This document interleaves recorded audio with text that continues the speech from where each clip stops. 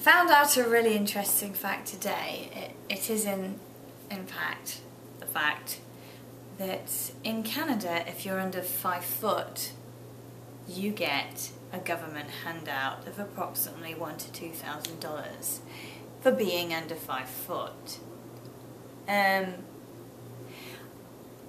I would tend to think that's quite a great benefit. So. Uh, I was thinking of an idea, you know, just to go around on my knees and maybe go to the office and uh, scoop up that extra two grand for being short.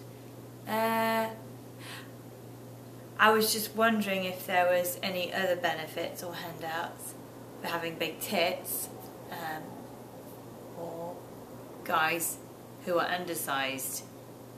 You know what I mean? Uh, because of course, you know, it must be a really hard life living like that. Um, but I mean, it's kind of a great idea in hindsight. You know, uh, great incentive to really move to Canada if you're under five foot, of course.